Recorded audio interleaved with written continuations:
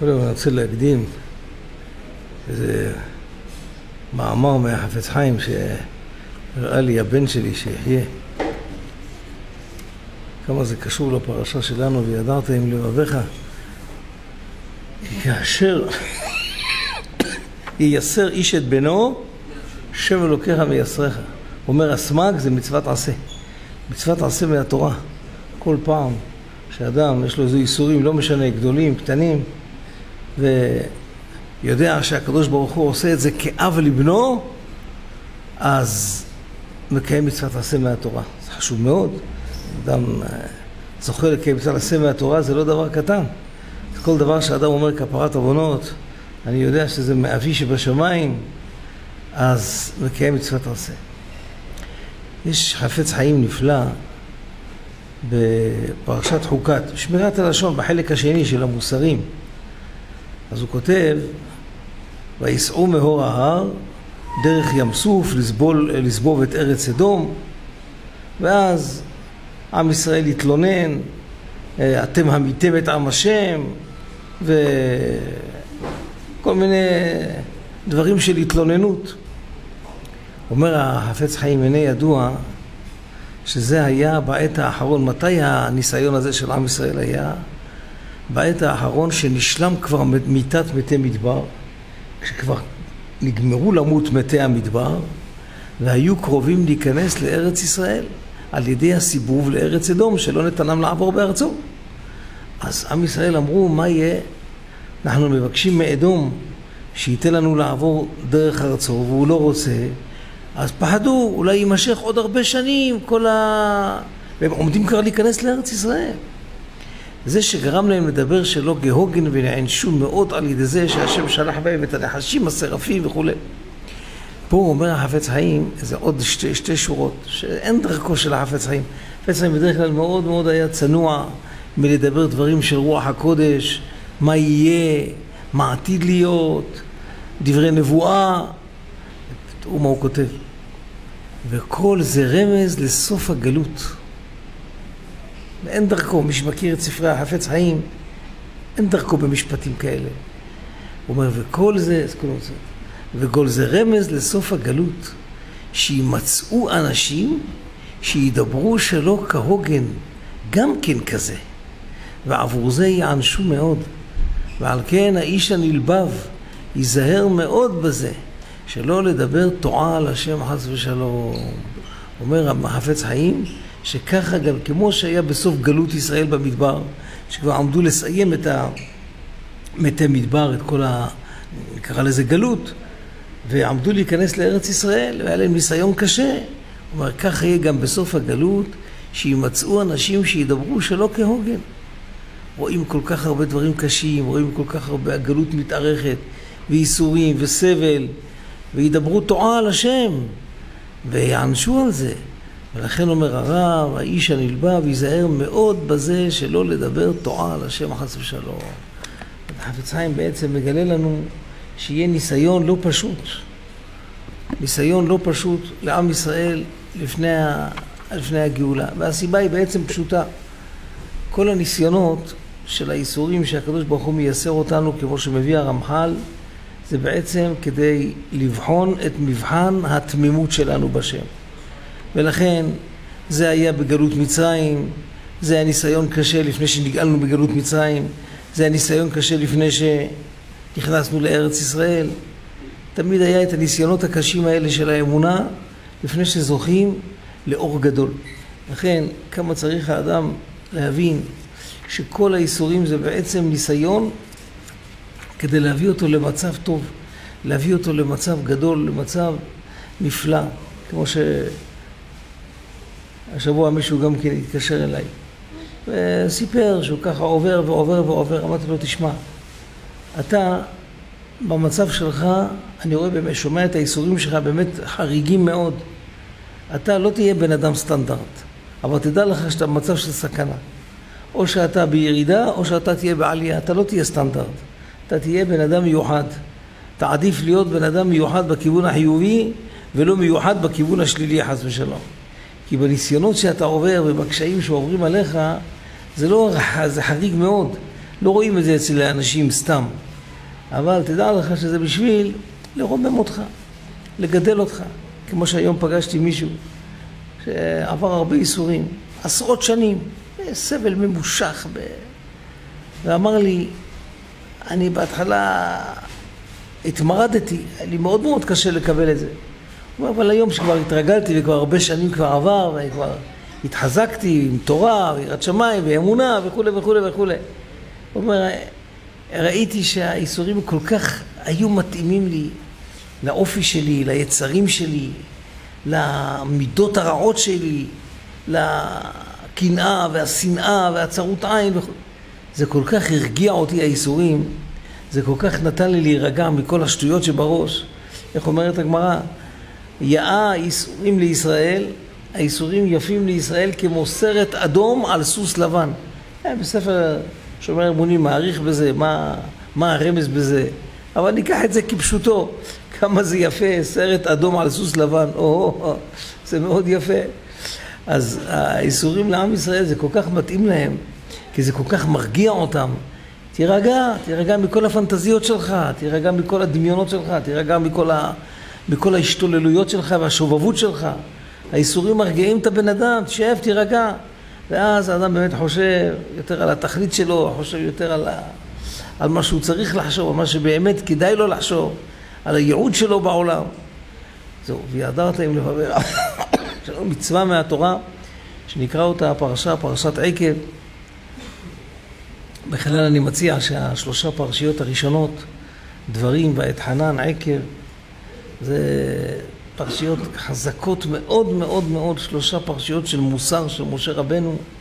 אין מוסר כזה, אין, אין, לא תמצאו מוסר כזה, לא בחובת הלבבות ולא במסילת ישרים ולא בשום ספר בעולם. אין, אין כזה מוסר. איזה מוסר של משה רבנו. יש יותר בעל מוסר ממשה רבנו. אה, ראה, שופטים, זה כבר יותר מצוות כבר, כן.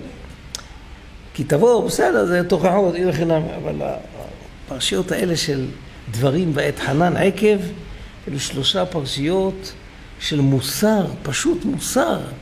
מה האדם רוצה, מה השם רוצה מהבן אדם, ואהבת את השם, והיה עם שמוע, תפילה, קרבתם הדבקים בהשם אלוקיכם, חיים כולכם היום, ישמר פן תשכח, יום אשר עמדת לפני השם אלוקיך בחורב, כי, כי תאמר רבים הגויים האלה ממני, שזה גם מלחמת היצר, איך ארוחה להורישם, זכור תזכור את אשר עשה השם לך במצרים, באותות, מופתים וכולי וכולי.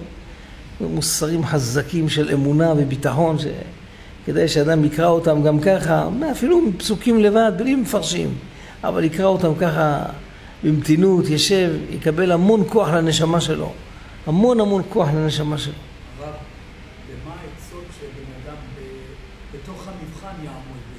אנחנו, תראה, כשהאיסורים מפתיעים את הבן אדם, זה קשה מאוד. האדם צריך להיות מוכן מקודם. מאוד קשה שאדם פתאום, אדם חי לו בשרירות ליבו, אה, בלי הכנה, וחושב שכל העולם שלו, ופתאום נוחת עליו איזה ניסיון של ייסורים, זה מאוד קשה. לכן האדם צריך להקדים תרופה למכה. אדם לומד מוסר כל יום, אדם לומד חובת הלבבות כל יום, שער הביטחון, מכין את עצמו קודם, אז קל לו מאוד, אז הרבה הרבה יותר קל לו. אז האדם חי עם השם. ואתם הדבקים בהשם אלוקיכם, חיים כולכם היום. מה זה חיים? חיים הכוונה חיים טובים, חיים נצ... אמיתיים, חיים של שמחה, חיים של שלוות הנפש, של רוגע, וכל זה רק על ידי אתם הדבקים בהשם אלוקיכם. ולהיות דבקים בהשם זה לא פתאום אני דבק, מחליט להיות דבק בהשם. להיות דבק בהשם זה לא דבר קל, זה לא מצווה קלה. שיוויתי השם נגדי תמיד, זה לא מצווה קלה. תראו מה כותב הפלא יועץ. דיברנו על ייסורים. כאשר ייסר איש את בנו, השם אלוקיך מייסריך. אומר הפלא יועץ בערך ייסורים, כדאי לקרוא את כל הקטע שלו שם. אומר כמה מיני ייסורים הם, וכולם אהובים וחביבים. הייסורים זה דבר חביב, כמו שאמרנו פעם בשם השער, רבנו יונה בשערי תשובה. הוא אומר, ומן ההצלחות שהקדוש ברוך הוא נותן לאדם, זה הייסורים שהוא מקבל בחיים. אז פעם נתנו לזה המחשה. תבוא לבן אדם, תגיד לו, בוא, תרשום על נייר את הימים היפים שהיה לך בחיים. הוא ירשום, ירשום את יום, יום שהוא קנה בית, יום שהרוויח בלוטו, יום שהתחתן, יום שנולד לו בן. לא, ימים יפים, ימים של בשורות טובות. אמר רבנו יונה, לא, שכחת משהו. שכחת לרשום את היום שבו נחתו עליך איסורים. זה גם כן, שכחת לרשום את זה ביום, בין הימים של ההצלחות שלך, בין הימים של ה... כי בזה בעצם השם מיישר את הבן אדם. איסורים מיישרים, זה דורבן.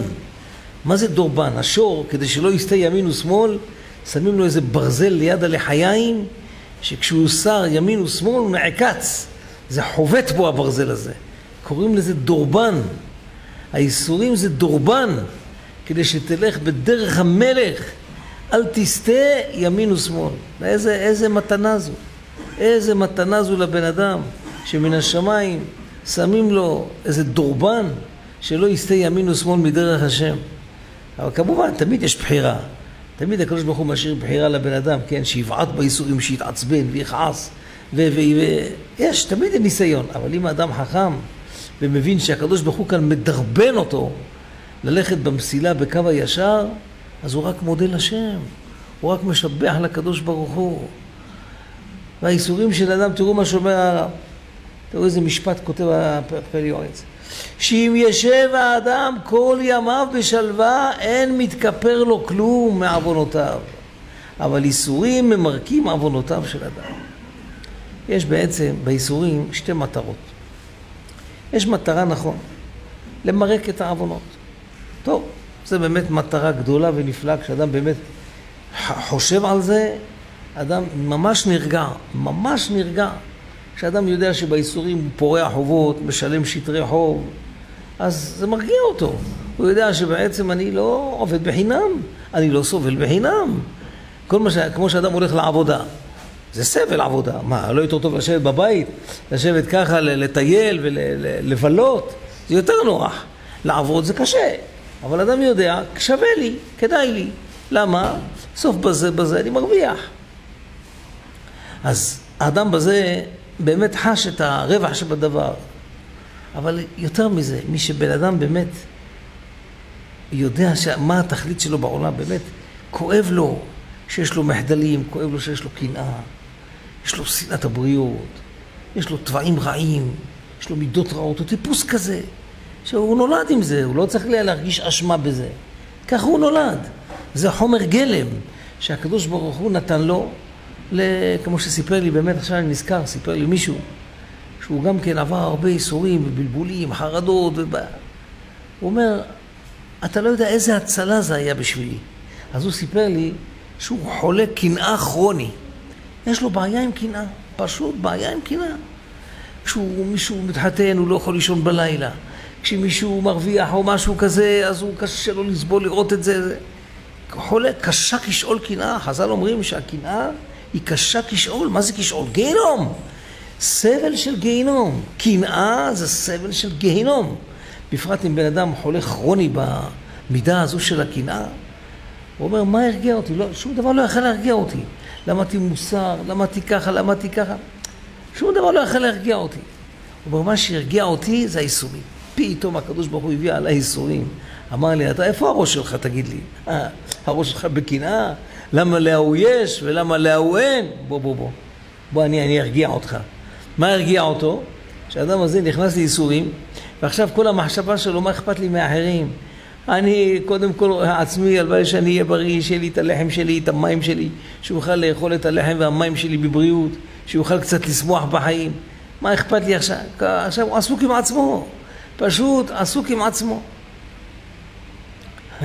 ראיתי סיפור עם רבי יחזקאל לוינשטיין, זכר צדיק לברכה, על אחד שהיה לו בחור בישיבה, שהיה לו דיכאון ומחשבות. אה, אז אה, רבי יחזקאל לוינשטיין אה, ביזה אותו ברבים. כן, עשה לו איזה כמה בושות ברבים. אז אמרו לו, מה, מה, מה העניין? אמר, תראה, הוא סובל בדיכאון. שעכשיו יצמצם את המחשבה שלו בסבל, ש... בביזיון שהיה לו, וישכח מהדיכאון שלו, ישכח מהשטויות שלו, שיתרכז ב... עכשיו, עדיף שיצא קצת מהדיכאון. מחשבה מבטלת מחשבה. היה לך מחשבות של קנאה, מחשבות של הבל, אה, תיכנס עכשיו לדברים אחרים. תחשוב עכשיו על הצרות שלך, איך אתה נתפטר מהצרות שלך, תהיה שקוע עם עצמך, לא יהיה לך זמן עכשיו לחשוב על קנאה, הוא ככה והוא ככה והוא ככה. אז האיסורים בעצם מדרבנים את הבן אדם. זה בעצם הדבר, המעלה הכי גדולה. נכון, זה גם כפרת עוונות, זה גם מחבר, זה חשוב מאוד, אוי ואבוי. תכף נראה כמה שורות פה בפה ליועץ, ממש מבהיל. כמה אדם צריך לקפוץ ולשמוח, מציאה על האיסורים שהשם יעשה אותו. אבל לפני זה, כמה האדם צריך להודות לקדוש ברוך הוא על האיסורים. עזוב עכשיו את השכר, עזוב עכשיו את הכפרת עוונות, עזוב עכשיו שזה יציל אותי מגיהינום, עזוב עכשיו שזה באמת ייתן לי שכר בעולם הבא, עזוב, עזוב את זה. קודם כל זה ייתן לך להיות בן אדם. קודם כל זה יעשה אותך בן אדם. האיסורים מרגיעים את היצרים של הבן אדם. האדם מלא יצרים, מלא תאוות, מלא מידות רעות, מלא חשקים, רוצה לבלוע את כל העולם. מלא דמיונות, כל העולם הוא רוצה לבלוע, ואוכל את עצמו, וכל המידות הרעות שלו מפוצצים לו את הראש. מה ירגיע אותו? האיסורים מרגיעים את הבן אדם, תירגע, תפסיק לחשוב על שטויות. הנה עכשיו האיסורים, אדם חושב, תראה מה אני עובר, תראה מה אני סובל. זה עכשיו, איפה קודם חשבתי שאני רוצה ככה ורוצה ככה, קנאה ותאווה, איפה עכשיו שטויות, לא רוצה כלום, רוצה רק להיות בריא, ורוצה רק לאכול את הלחם שלי בבריאות, לשתות את המים שלי בבריאות, שלא יכאב לי פה ולא יכאב לי שם, ואני אהיה יהודי שמח, קצת שמחה בחיים, נהנה קצת מה... זה מה שאני מבקש. עכשיו הוא עוזב את כל היצרים שלו וכל היצרים והתאוות שלו והמידות הרעות שלו, כולם נרגעים. את אשר יאהב השם יוכיח. הוא רוצה, הקדוש ברוך אוהב מישהו, תראו, חז"ל, איך התייחסו לייסורים. אני אומר, אה, מצווה, תלמוד תורה. יש בגאון מווילנה שכל מילה של תלמוד תורה, וככה, אבל לא ראינו בחז"ל התייחסות, בגמרא בכל אופן, על כל משהו, פירור של מצווה, פרוטה של צדקה. התייחסות של דיבור של תורה. לא, לא ראינו. במה כן, מה? מה זה? דיברת בם, כן, אבל תשמע, אפילו מילה, אפילו פרוטה. איפה ראינו שחז"ל התייחסו אפילו משהו, משהו? רק בייסורים. בייסורים חז"ל באו ואמרו, אתה יודע מה זה ייסורים? אפילו הכנסת את היד לכיס להוציא שתי פרוטות, ויצא לך אחת. ואתה צריך להכניס את היד להוציא את השנייה. איפה? בשום דבר בעולם לא ראי... אה? זהו, או, זהו. לזה אפשר... ובואו תראה, שום דבר לא התייחסו חז"ל ככה בדקדוק כזה על משהו מן המשהו. רק בייסורים. רק בייסורים. מה זה אומר? שייסורים, איך קוראים לזה? קרת, קרת קוראים לזה בזהב. אה? קרת, כן. ראו את האיסורים, כל גרם שווה הרבה כסף, כי זה קרת גבוה, שווה המון כסף. אפילו תורה. לא מצינו בחז"ל, אתה אפילו תגיד מילה אחת, אתה לא יודע מה זה מילה אחת, אתה לא יודע מה זה. פרוטה נתת לצדקה, אתה לא יודע מה זה, אתה לא יודע מה זה. לא, לא מצינו. לא מצינו שחז"ל יתייחסו לאיזשהו מצווה במשהו מן המשהו שלה, רק בייסורים. בייסורים אתה רואה שכאן חז"ל באו ואמרו לך, תשמע, אפילו הכנסת את היד פעמיים לכיס, יחידה מייסורים, ובאו ואמרו, מה זה ייסורים בתחילה? אמרו, ייסורים זה אדם שקנה בגד, יצא לו לא מתאים, גדול, קטן, מה תקיף לה אותו חכם? מה פתאום זה ייסור? תוריד, תוריד, מה פתאום זה זהב? מה אתה... טוב, התחלף לו החלוק, צריך להחליף, להוריד, לא, מה תקף לה, מה פתאום? ביקש חם, הביאו לו קר, הנה ברוך השם, הרב שמעון הביא לי גם חם וגם קר. אומרת הגמרא, מה זה איסורים? ביקש קר, הביאו לו חם, ביקש חם, הביאו לו קר. טוב, זה איסורים, אומרת הגמרא. עד שאומרת הגמרא, לא, מה פתאום, זה איסורים גדולים, תוריד, תוריד, תוריד, תוריד. מה זה איסורים? ותראו איך הגמרא עושה, פלפול. דווקא שבאת להוציא שתי פרוטות ויצא לך... אהה, אה, אז עכשיו אתה צריך להכניס את היד לכיס להוציא את השנייה. אבל אם אתה באת להוציא אחת ויצא לך שתיים, שעכשיו מה אתה צריך? את השנייה, מה לעשות איתה? זה כבר לא עיסויים, אל תגזים, עד כאן, עד כאן. למה? כשאתה רצית להוציא שתיים ויצא לך אחת, אתה צריך לחפש את השנייה בכיס, איפה היא נעלמה. אבל כשרצית להוציא אחת ויצא שתיים, אתה מחזיר את השנייה איפה שתיפול תיפול, זה כבר לא איסורים. תראו איך הגמרא, תראה, מה זה, באמת, כמו שהוא אומר, מה באמת, מה עכשיו אתה מחשבן איתי? שניים, אחד, אחד, שניים, מה? זה מה שיש. אומרת הגמרא, אל תזלזל, אל תזלזל. זה זהב, זה זהב. בשום מצווה בעולם אתה לא רואה כאלה דקדוקים. בשבריר, בפירור של מצווה, פירורים של מצווה. תחשיב פירור. האמת, צריך להשיב פירור, כן? אפילו דיבור של תורה, אפילו פרוטה של צדקה, בוודאי. אבל לא רואים את זה בחז"ל, שחז"ל כל כך התלהבו והתפעלו מזה. בייסורים, כאן אתה רואה שחז"ל שמו חשיבות והתפעלות מכל פירור של ייסורים. למה? תראו מעלת הייסורים. אין לנו הבנה מה זה מעלת הייסורים.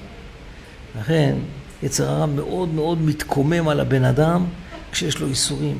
כי יצר הרע יודע, אוי ואבוי, כל עבודתי לחינם. אני החטאתי את הבן אדם הזה, הכנתי לו איזה גיהינום, או איזה מדור הכנתי לו בגיהינום לבן אדם הזה. וזה העבודה של היצר הרע, להכין לאנשים מדורים בגיהינום. הב הב. מה, מה זה היצר הרע? מה חז"ל אומרים? שהוא אומר הב הב, מה זה הגיהינום צועק, תביאו, תביאו, תביאו. זה היצר הרע, שרק כל, כל העבודה שלו וכל החשק שלו זה להכניס אנשים לגיהינום, כמה שיותר, כמה שיותר, כמו שאומרת הגמרא. אז מה עכשיו היצר הרע אומר? אוי ואבוי, תראה, כל העבודה שלי לחינם. כי האדם, במעט איסורים שיסבול בעולם הזה, יורד לו המון גיהינום מהעולם הבא. אז כל העבודה שלי לחינם. לכן, על מה עובד היצר הרע חזק מאוד? לא לתת לבן אדם לקבל את האיסורים באהבה, אלא לבעוט באיסורים, למאוס בהם, להתקומם נגדם, מכיוון שדווקא כאן יצר הרע יודע שכל העבודה שלו הולכת לחינם. תראו מה שאומר הפל יועץ. כן, כן, נכון, נכון, אתה עושה. אומר, אומר הפלא יועץ, אבל צריך לקבולין ובאהבה. ביודעו ומכירו תועלת שבהם, שמכפרים עוונותיו, והתועלת היותר גדול שמנקה ומתאר את אשר פגם למעלה, בזה שאדם חטא, פגם והרס עולמות, הרס, הרס בניינים, כביכול שם הכל רוחני, כן, ומתקן את כל אשר פגם למעלה, ועושה נחת רוח ליוצרו. הנה כי כן האיש הירא מהעבירות שבידו וצר לו מאוד, הוא מר ממוות יקל לו ויערב לו ויבושם לו כל מיני איסורים, לתקן את אשר עיוות ולטהר את אשר פגם באהבתו את קונו, כי עזה כמוות אהבה. ועוד הוא אומר אחר כך, ומה גם? ביודעו שאם לא יתייסר ברצונו, לפני כן הוא מביא גם,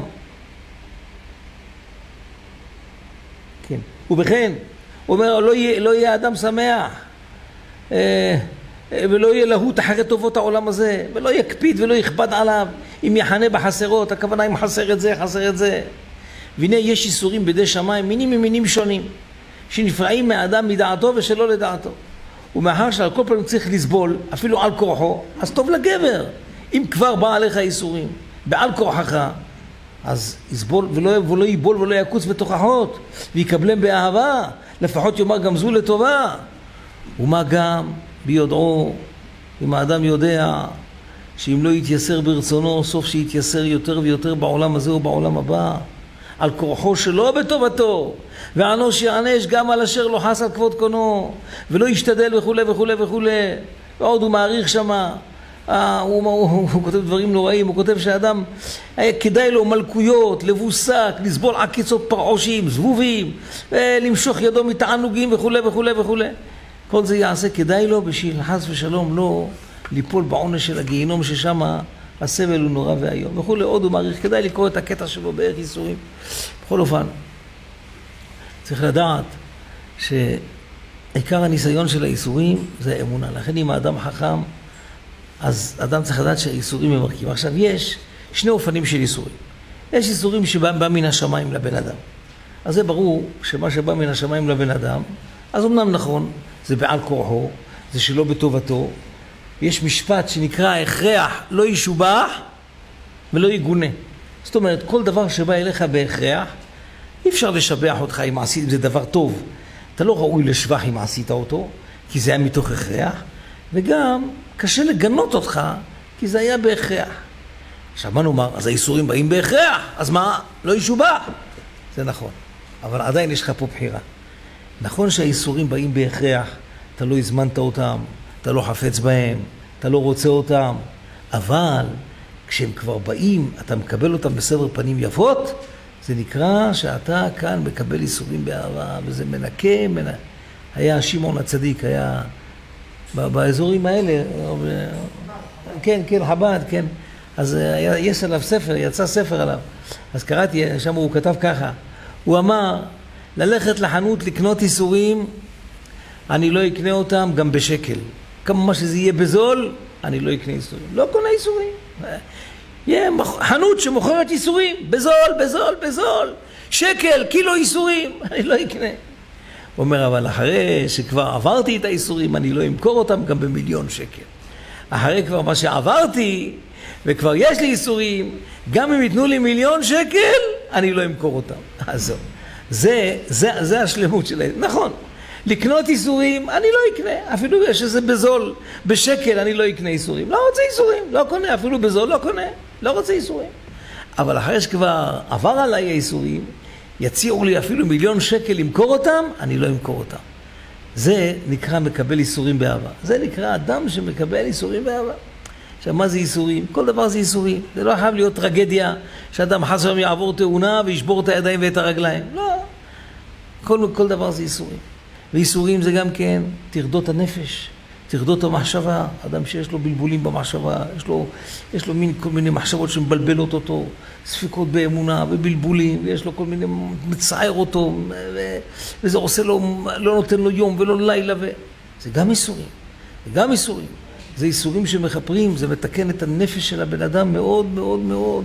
כשאדם יש לו כל מיני איסורי נפש, יש לו דיכאונות, יש לו נטייה לדיכאונות, נטייה לחרדות, הוא מתגבר על זה, משתדל בכל כוחו לסלק את זה, משתדל בכל כוחו לקדש את המחשבה, ויצר הרע מבלבל אותו בתפילה, מבלבל אותו בתורה, בפרט כשהוא בא, לומד או מתפלל, ומכניס לו כל מיני מחשבות של הבל ושטות, והוא משתדל לסלק את זה.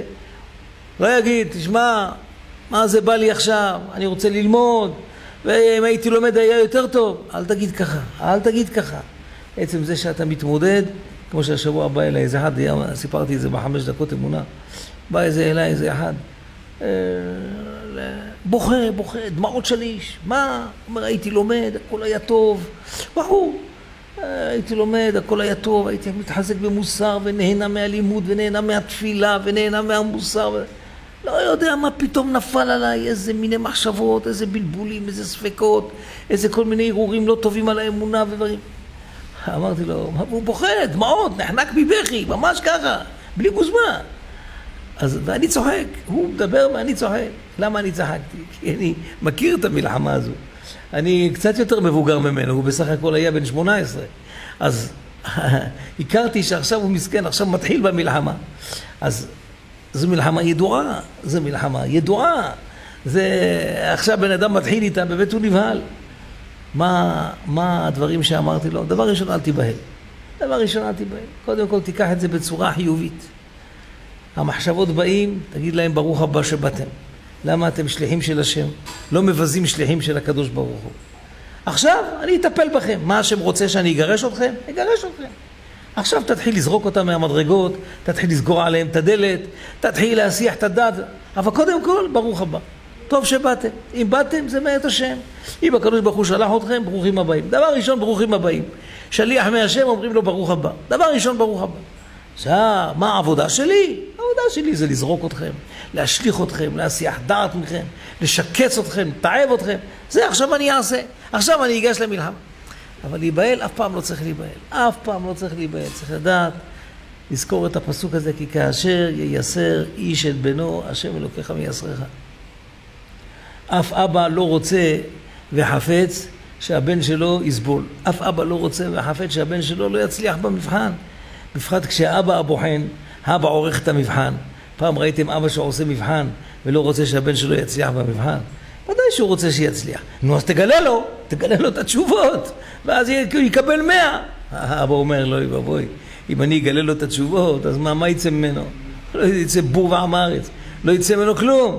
אז לכן האבא מעמיד אותו במבחן, ומעמיד אותו בסימני שאלות, מציק לו במבחן, מציק לו בשאלות, ונותן לו כל מיני התמודדויות קשות בשהבן בעצם יפעיל המון אנרגיות של אמונה, של מחשבה, של התבוננות, של חשבון נפש, וככה, ככה בדרך זו הוא יתקדם.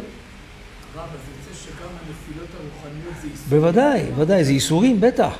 כי אדם לא רוצה את זה, אדם מצטער מזה, אדם סובל מזה. יש לאדם צער מזה. לכן האדם, אם הוא חכם, הוא אומר זה מאת השם, עכשיו יש לי מלחמה. מלחמה, אז נלחמים. יש חיילים קרביים, ויש חיילים שהם לא מסוגלים להיות קרביים. אז הם עושים כל מיני פעולות חיצוניות, פה ושם, שם ופה, כן. אבל מישהו קרבי, שולחים אותו לקרבי. לכן... בוודאי, בוודאי, עכו ישראל ערבים, כשאדם מצטער מהם, כן, כשאדם בוכה עליהם, מצטער מהם. כן.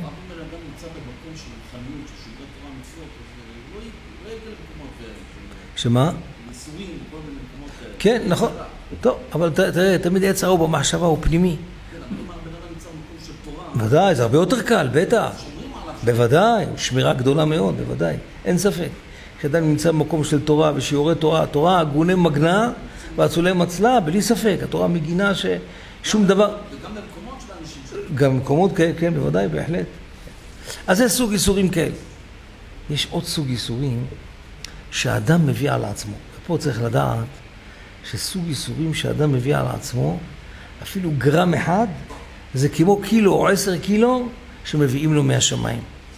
מה זה ייסורים שאדם מביא על עצמו? אדם למשל אה, פורש מאכילה, יש לו מאכילה, דבר שמאוד טעים, או לפחות בימי החול הוא מצמצם, אוכל רק לשובע נפשו, או לפחות יום, שני וחמישי, או אפילו יום אחד.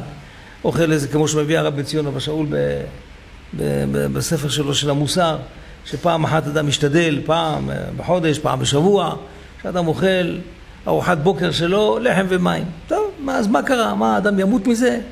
תדעו לכם, כל המחלות של הבן אדם זה מהאכילה. כל המחלות של הבן אדם זה רק כשאדם אוכל, אוכל ביצים, אוכל גבינות, אוכל, וחושב שכל המאכלים האלה רק... הרב שטיינמן זכה לאריכות ימים ושנים. ו... מה הוא אמר? כל זה בזכות שלא אכלתי. כל זה בזכות שלא אכלתי. מה היה האוכל שלו? פעם איזה מישהו, פעם איזה מישהו דיבר על השטיינמן, על הרב שטיינמן. אה, ככה לא מצא חן בעיניו הנהגה כזו, אני לא יודע, היה לו איזה ביקורת עליו. אז בא החבר שלו, אומר לו, תגיד לי, אתה, איך, איך אתה מעז לדבר על הרב שטיינמן? הרי כל מה שהוא אוכל בחודש, אתה אוכל ביום אחד. וכל מה שאתה לומד בחודש, הוא לומד ביום אחד. אז אם כן, איך אתה מזלזל באחד כזה? שכל מה שהוא אוכל בחודש אתה אוכל ביום, וכל מה שאתה לומד בחודש הוא לומד ביום. אז מה, איך אתה יכול לדבר על אחד כזה? אה, תורה שלו תורה, תורה בהתמדה יום ולילה, אכילה מעוטה. טוב, נכון, כל אחד, לא כל אחד, יש אנשים שצריכים קצת לשמח את עצמם, יש כאלה, כן, שבלי האוכל נהיה להם עצבות ונהיה להם מצב רוח לא טוב, ואולי הוא יתגבר פה באכילה ולהוציא את העצבים על אשתו. כל אחד יש לו את ה... צריך להכיר את עצמו בדיוק איך הוא, איך הוא מסוגל להתנהג עם ה... אבל בכל אופן, סיגוף אפילו קל שאדם עושה לעצמו, זה דבר, דבר חשוב מאוד. למשל בשעת הלימוד, משתה בשעת הלימוד, אני לא אוכל. מה, שעת הלימוד, אין, אין אוכל, מה, מה יש? מה, חייבים בשעת הלימוד עוגות, ומספיק אכלת ארוחת בוקר. לא, מביאים אזכרות, מביאים זה, מביאים זה. או, אדם אה, נהיה צריך לעשות אחר כך בשבילו אזכרה אחת גדולה על כל מה שהוא אכל. אה, אתה אוכל, אתה יושב ולומד, תשב תלמד. אה, צריך בשעת האכילה, יש לך שעה לימוד, שעתיים לימוד. אתה, יש נקרא מה שתענית שעות. אומרת הגמרא, אמר רבי יוחנן, בואו ולא נאכל עד שנצא מבית המדרש. יש מושג שנקרא תענית שעות. הנה פה נדמה לי שהוא מביא את זה כאן. כן? הוא אומר, שהוא, איך הוא כותב שמה? בואו לא נאכל עד שנצא מבית המדרש. איך לשונו פה? הנה כאן חושב שהוא מביא את זה, כן.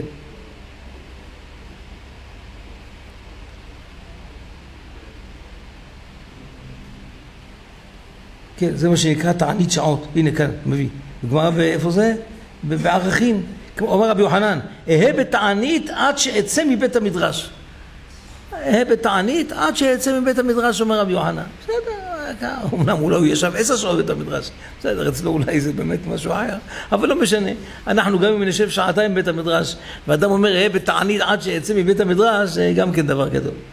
בכל אופן, אדם, כל דבר קטן שאדם, הנאתך, חז"ל אומרים, אוכל שהנאתך ממנו, משוך ידך ממנו. כשאדם מושך ידו, אדם למשל אוכל פחות קצת, יש לו להמשיך אותו אוכל. איך קורא לשון הרמב"ם? לא ימלא האדם קרסו כבהמה. אדם אוכל, ויש לו עוד חשק להמשיך עוד. תפסיד, תעצור קצת, תאכל שתי שליש. כמו שכותב הרמב"ם, לא להמשיך ולסבוע ולמלות את קרסו עד הסוף. כי כל הדברים הקטנים האלה, אדם חוסם פיו, זה גם איסורים. יש לאדם איזה חשק לדבר עכשיו איזה דבר, איזה בפרט וחס ושלום עם איזה ליצנות או איזה, או אפילו סתם איזה דבר בטל. ואדם חוסם את הפה ויש לו מאוד מאוד חשק לדבר, והוא שותק, זה גם כן איסורים. זה איסורים קשים, יש כאלה שבשבילם זה איסורים הכי קשים בעולם. לשתוק, יש אחד שבשבילו זה פיקוח נפש, אבל זה גם כן בגדר איסורים. כל מה שאדם עושה לעצמו, איזה סיגוף אפילו קל, זה גם אדם שמאמץ את המחשבה, אדם בא ללמוד תורה, משתדל להתרכז, משתדל להתרכז בלימוד, להתאמץ לכבוד השם, וזה קשה לו. קשה לו לבוא לשיעור תורה, קשה לו לבוא לתפילה, קשה לו לקום. הוא משתדל, מתאמץ, הוא בא, הוא קם, משתדל להתרכז, אפילו שזה נגד הטבע שלו ונגד האופי שלו. זה איסורים הכי טובים שבעולם. למה? מכיוון שזה איסורים של תורה. אשרי הגבר אשר תייסרנו יה, ומתורתך תלמדנו. אומר הסטייפלר, זכר צדיק לברכה, אשרי אדם שמייסר את עצמו בלימוד התורה. יש אדם שמייסר את עצמו בתעניות, יש אדם שמייסר את עצמו בכל מיני איסורים כאלה. אומר, אשרי הגבר אשר תייסרנו יה, על ידי ומתורתך תלמדנו. על ידי שאדם לומד תורה, וזה קשה לו, זה קשה באופי שלו, קשה ב... לפעמים אין חשק, קשה, אין ריכוז, אין... ואדם מכריח את עצמו. זה, הוא מרוויח תרתי. ראשית כל, עוונותיו מתכפרים, זה בגדר איסורים. ושנית, אתה מרוויח תורה, אתה יושב ולומד תורה, יש לך שכר, אז כאן האיסורים שלך מיני ובה, אתה מרוויח כפל כפליים. השם יעזרנו שנזכה בעזרת השם להכיר ולדעת שהכל זה בהשגחה, כל איסורים אפילו קטנים ביותר, זה בהשגחה, אין אדם נוקף אצבעו מלמעלה, אפילו נקיפת אצבע, מכה קטנה. זה רע אלא אם כן מכריזים עליו מלמעלה, גוזרים מלמעלה. וכשאדם יודע את זה ומייחס את הכל להשגחה, ואומר שיהיה לו לכפרה, פרוטה לפרוטה, מצטרף לחשבון גדול. ברוך אדוני לעולם, אמן ואמן. כל נהיה בדברו. אמן.